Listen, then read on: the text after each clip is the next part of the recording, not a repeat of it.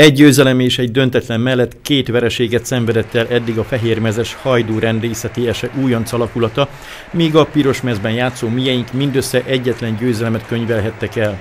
Így a tabellán előkelőbb helyen álló ellenfelet fogadtak a kóti tanítványok, akik mindössze a sereghajtó komádi tudták csak ezidáig megelőzni a tabellán.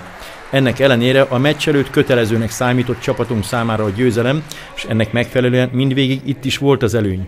Csupán egyetlen egyszer 8-8-nál a 20. perc tájékán volt döntetlen az állás, no és persze 0-0-nál, azaz végig kézben tartották a meccset Lajtos Bogiék. A teljesítményük azonban rendkívül hullámzó volt.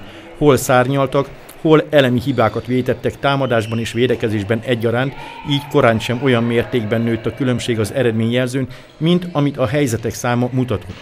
Izgulni persze nem kellett, mivel egy percig sem forgott veszélyben a győzelem.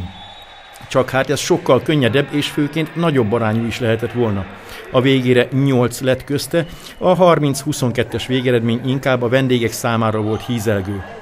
Ezzel együttesünk a győzelmei számát kettőre, a pontjai számát pedig négyre növelte, s hat játéknapot követően a hetedik helyre lépett előre a tabellán.